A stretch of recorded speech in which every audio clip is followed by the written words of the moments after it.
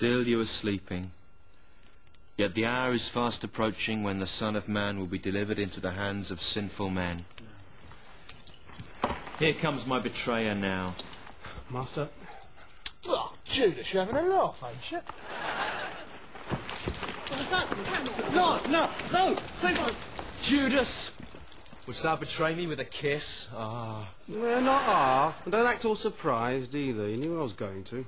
I can't believe you betrayed our Lord, Judas. Peter, you yourself betrayed me three times before the crowing of the cock. Cock. Not now, please.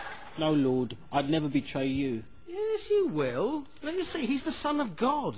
He knows everything we're going to do in advance. We haven't got any control over what happens here, I'll tell you. You chose to betray me, Judas. Ah. Ah, uh Technically, it's entrapment. No, because God gave you free will. Ah. No, no, not ah, right? It's a theological necessity, right, for you to be killed in order that mankind is saved.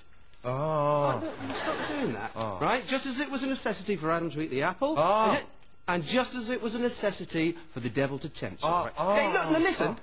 Will you please stop going ah for once in your stupid Jesus life, right? If I wasn't doing this, you wouldn't be killed, mankind wouldn't be saved. So far from betraying mankind, I'm actually saving them from eternal damnation. Will I get any thanks? No. I only go down as the most evil man in history.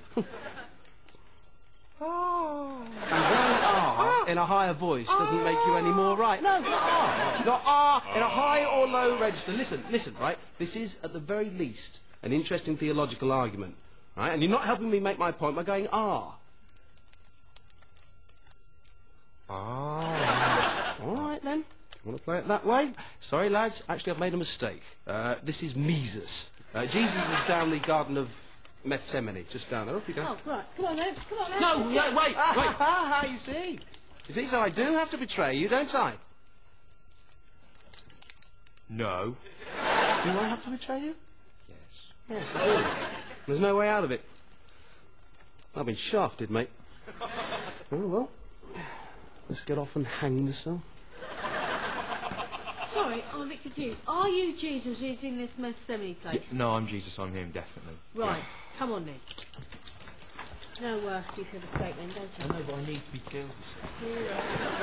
Come on. Aren't you one of Jesus' followers? Never seen the guy before in my life. No, no way.